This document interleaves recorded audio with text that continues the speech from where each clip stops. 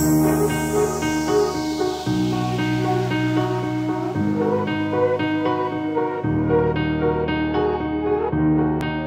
ើសិនជាមានអារម្មណ៍ថាធុញទៅលើមុខវិជ្ជាណាមួយឬក៏រៀនអត់ចូលអីយើងគួរតែព្យាយាមប្រាប់ខ្លួនឯងជ្រើសរើសថាខំប្រឹងលើទៅចិត្តខ្លួនឯងថាបើសិនជាយើងធុញនឹងមុខវិជ្ជាមួយនឹងហើយមុខវិជ្ជាមួយនឹងវាសំខាន់ទៀតនោះតែយើងគួរតែបោះបោះឬក៏ព្យាយាមឲ្យខ្លួនឯងស្អប់ទៅលើមុខវិជ្ជាមួយនឹង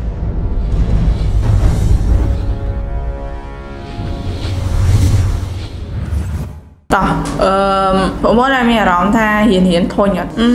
យ៉ាអារម្មណ៍ហ្នឹងណាគេក៏ធ្លាប់ជួបឯតាំងបងឬក៏អូនអូនសិតតែបានជួបនៅអារម្មណ៍មួយហ្នឹងហើយគឺរៀនរៀនមានអារម្មណ៍ថាធុញធុញទៅលើមុខវិជ្ជាមួយហ្នឹងអឺ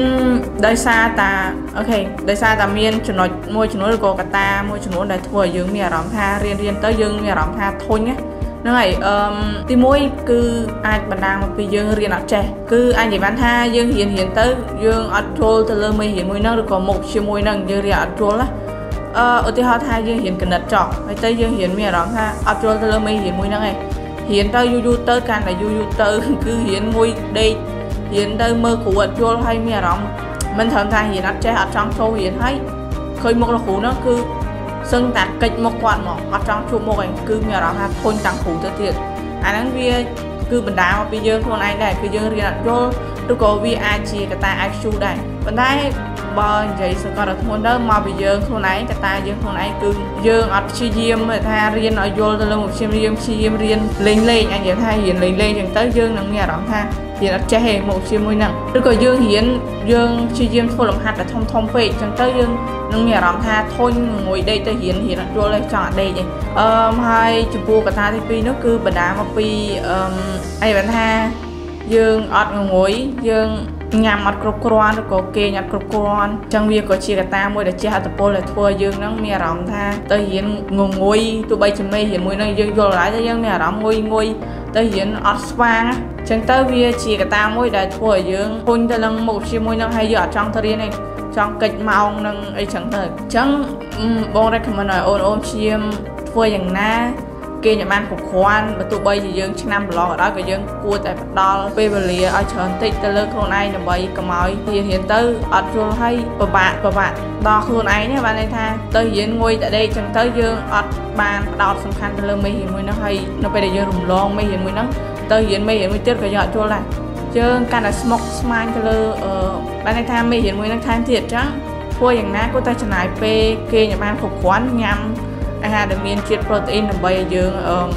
មានកម្លាំងចឹងទៅយើងអាចមានអារម្មណ៍ស្រស់ស្រាយទៅរៀនអត់ងងួយគេងទៀតហើយចំពោះចំណុចទី3នោះគឺវាអាចជាមកពីគំនិតអវិជ្ជមានដោយសារតាសម្ពាធខាងក្រៅកន្លែងនេះចង់ផ្ដោតសំខាន់ថាយើងជាទូទៅយើងតែងតែជួបបញ្ហាច្រើនអញ្ចឹងវាអាចជាបណ្ដាមកពីកត្តាខាងក្រៅដូចជាបញ្ហាមិត្តភ័ក្តិ ឬក៏បញ្ហានៃការសិក្សារបស់យើងធ្លាក់ចុះឬក៏បញ្ហាគ្រួសារជាដើមអឺចំណុចនេះគឺដោយសារតាវាយ៉ាងគប់ផ្សំគ្នាចូលលីឡំគ្នាដល់ពេលដែលយើងរៀនជួនកាលមុខជាមួយហ្នឹងគឺនិយាយទៅការសិក្សារបស់យើងនៅពេលដែលយើងរៀនអត់យល់ឬក៏ធ្លាក់មានថាធ្លាក់បន្ទុកអីទៅយើងតែងមានអារម្មណ៍ថាការសិក្សារបស់យើងខ្សោយយើងធុញឬក៏សម្ពាធដែលយើងថារៀនច្រើនពេកយើងមានអារម្មណ៍ stress អាចនិយាយថា stress ទៅលើមុខវិជ្ជាទាំងអស់នោះដោយសារ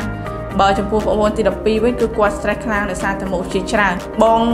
បើផ្សោតបងក៏ចឹងដែរគឺមានអារម្មណ៍ថាទី12គឺ stress មែនតែអត់អីទេយើងនៅតែអាចធ្វើវាបានយើងត្រូវតែព្យាយាមលើកទឹកចិត្តខ្លួនឯងថាធ្វើយ៉ាងណាលទ្ធផលរបស់យើងត្រូវតែទោះបានលទ្ធផលល្អយើងគួរតែព្យាយាមអស់ពីសមត្ថភាពបើទោះបីជាល្អមិនល្អក៏យើងព្រមទទួលយកវាដែរព្រោះថាមិនមែនតែយើងទេគ្រប់គ្នាស្ទើរតែត្រូវតែឆ្លងកាត់នៅបទពិសោធន៍ទី12ហ្នឹងថាវាជូរចត់បែបម៉េចយើងស្គាល់គ្រប់រសជាតិ មិនថាតាប្អូនឬក៏បងឯងស្គាល់ហើយរសជាតិទី12ហ្នឹងហើយម្យ៉ាងទៀតទៅលើអឺយ៉ាសម្ពាធគ្រួសារក៏វាជាកត្តាមួយដែរជួនកាលមកពីម៉ាក់ប៉ារបស់យើងគាត់អត់មានជីវភាពថាវាវាមិនទៅខ្លាំងអីទេមួយចំនួនដែរទេអញ្ចឹងទៅគួរតែយើងគួរតែព្យាយាមលើកទឹកចិត្តខ្លួនឯងបើទោះបីជាបញ្ហាហ្នឹងវាជួបឬក៏អញ្ចឹងថាសម្ពាធហ្នឹងវាមិនមែនថាគាត់ខ្វះថវិកាតែនិយាយថា ជាមានចំនួនអីទីគួចនៅក្នុងគ្រួសារដែលធ្វើឲ្យប៉ះពាល់ឬក៏ចែកពលមកដល់យើងខ្លួនឯងដែរដែលធ្វើឲ្យយើងនៅពេលដែលគ្រួសារយើងបែបហ្នឹងគឺយើងរៀនអត់យល់ទេយើងអត់មានអារម្មណ៍ទៅរៀនទេត្រូវយេអញ្ចឹងយើងគួរតែមានវិធីសាស្ត្របែបម៉េចដើម្បីលើកទឹកចិត្តខ្លួនឯងហ្នឹងកកុំ ឲ្យតែយើងមានអារម្មណ៍ថាទៅផ្ទះទៅឃើញតែគ្រួសារអត់មានថាសុភមង្គលចឹងយើងមានអារម្មណ៍ថាស្មុគស្មាញយូរទៅកាន់តែ stress គិតម្នាក់ឯងយូរទៅវាថាចង់បោះបង់រៀនទៀតបើយើងគិតទៅព្រោះវាជាសម្ពាធមួយដែលអាចយើងថាពិបាកដែរអឺមិនថ្មីមួយទៀតវាអាចមកពីសង្គមខាងក្រៅអាចនិយាយថាវាដោយសារតែអត្តពលនៃមនុស្សជុំវិញខ្លួនយើងសម្បូរទៅដោយនៅអវិជ្ជមានមានន័យថាបើសិននិយាយទៅយើងរៀនរៀនវាវាអាចរៀនបានបើយើង អត់ចង់ឲ្យខ្លួនឯងមានអារម្មណ៍ថាធុញក៏ប៉ុន្តែដោយសារតែពួកគាត់ដែលនៅជុំវិញខ្លួនយើងនោះមានភាពរញ៉េរញ៉ៃដែលធ្វើឲ្យយើងនោះរៀនទៅអីថារៀនអត់ចូលពួកគាត់ញ៉ៃញ៉ៃចឹងវាជាកត្តាមួយដែរដែលធ្វើឲ្យយើងធុញនៅនឹងពេលចូលរៀននោះមានតែញ៉ៃញ៉ៃរៀនអត់យល់ហើយថែមទាំងពួកគាត់មកអឺនិយាយគ្នាវល់ពេញនឹងទៀតទៅដែលធ្វើឲ្យយើងកាន់តែអត់យល់ថែមទៀតអញ្ចឹងវាអាចមកពីអឺរឿងរ៉ាវទាំងអស់ហ្នឹងដែរអញ្ចឹងបងលើកទឹកចិត្តឲ្យអូនអូន បើសិនជាមានអារម្មណ៍ថាធុញទៅលើមុខវិជ្ជាណាមួយឬក៏រៀនអត់ចូលអីយើងគួរតែព្យាយាមប្រាប់ខ្លួនឯងជ្រើសរើសថាខំប្រឹងលើកទឹកចិត្តខ្លួនឯងថាបើសិនជាយើងធុញនឹងមុខវិជ្ជាមួយនឹងហើយមុខវិជ្ជាមួយនឹងវាសំខាន់ទៀតនោះតែយើងគួរតែបោះបោឬក៏ព្យាយាមឲ្យខ្លួនឯងស្អប់ទៅលើមុខវិជ្ជាមួយនឹងចឹងយើងទៅតែ back គិតមកខ្លួនឯងថាយើងអត់ត្រូវ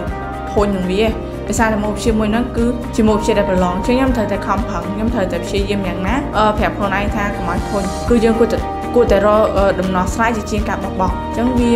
អត់មានអីដែលអស់ចាសម្រាប់យើងគឺយើងគួរតែព្យាយាមហ្នឹងហើយធ្វើយ៉ាងណាលើកទឹកចិត្តខ្លួនឯងធ្វើមិនកុំឲ្យបែរថាបាក់ស្បាតទៅលើរឿងរ៉ាវបន្តិចបន្តួចទាំងអស់ហ្នឹងចឹងហ្នឹងហើយហើយបងមានតែប៉ុណ្្នឹងទេដែលជាសារដាស់តឿនហ្នឹងហើយហើយអរគុណច្រើនបងប្អូនដែលចំណាយពេលមើលវីដេអូបងចែកម្លែកនេះចា៎ ទេសជាតិមួយខ្លាំងគឺអាស្រ័យទាំងស្រុងលើធនធានមនុស្សខ្លាំងដើម្បីចូលរួមកសាងគុណភាពធនធានមនុស្សកម្ពុជាឲ្យកាន់តែខ្លាំងវិជាស្ថាន CEO សូមទទួលស្វាគមន៍សិស្សនិស្សិតមកទទួលការបណ្ដុះបណ្ដាលនៅវិជាស្ថាន CEO ថ្នាក់បរិញ្ញាបត្រគ្រប់គ្រងពាណិជ្ជកម្មអន្តរជាតិសិស្សនិស្សិតដែលមកសិក្សានៅវិជាស្ថាន CEO នឹងទទួលបានការបំផាត់ឲ្យខ្លាយជាបុគ្គលិកពូកែអ្នកដឹកនាំពូកែអ្នករកស៊ីពូកែការរៀនអនុវត្តជាក់ស្ដែងនិងទទួលបានជំនាញពិតប្រាកដ100%ការបង្វឹកដោយអ្នកជោគជ័យក្នុងអាជីពនិងអាជីវកម្មពិតប្រាកដការសិក្សាបន្ថែមលើជំនាញភាសាចិន ភាសាអង់គ្លេសជំនាញកុំព្យូទ័រជំនាញទំនាក់ទំនងនិងជំនាញនិយាយជាសាធារណៈការធានាការងារធ្វើ បន្ទាប់ពីបញ្ចប់ការសិក្សា នៅពេលបញ្ចប់ការសិក្សា នៅវិទ្យាស្ថាន CEO និស្សិតនឹងទទួលបានជំនាញច្បាស់លាស់អាចធ្វើការក្នុងទូនាទីជាអ្នកដឹកនាំ និងទទួលបានប្រាក់ចំណូលខ្ពស់ជាមួយវិទ្យាស្ថាន CEO យើងរួមគ្នាកសាងធនធានមនុស្សកម្ពុជាឲ្យកាន់តែខ្លាំងលើឆាកជាតិនិងឆាកអន្តរជាតិព័ត៌មានបន្ថែមសូមតាក់ទងទូរស័ព្ទលេខ023ការ៉េ6 555 023ការ៉េ6 999វិជាស្ថាន CEO ខ្លាយជាបុគ្គលិកពូកែអ្នកដឹកនាំពូកែអ្នករកស៊ីពូកែ